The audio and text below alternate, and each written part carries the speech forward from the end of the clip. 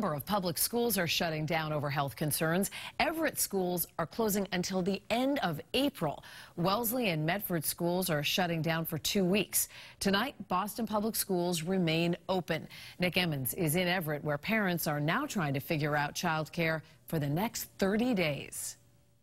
Yeah, one by one, we saw schools cancel classes all over fears of coronavirus, but now it's putting parents in a tight spot. Another day, another wave of school closures.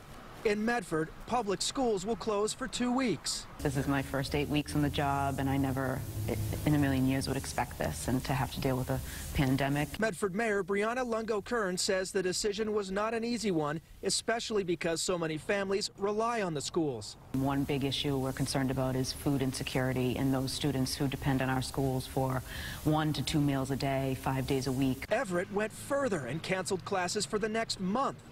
The closures, while done as a precaution, leave many parents in a difficult spot. What to do about childcare and work. Not sure how we're going to rearrange life. Uh, his mother and I both have to work full time. David Bentley's nine-year-old son Hatcher goes to school in Somerville. He'll be home for at least two weeks. And just hope that it doesn't extend more than the two weeks. You know? Yeah, what, I mean, what would you do at that point? So, it's a great question. Yvonne Jardim has three kids and now worries about paying the bills if she has to stay home. I'm not going to be paid if I'm not going to work. So it's, and then at the end of the month, we have to have money to pay the bills.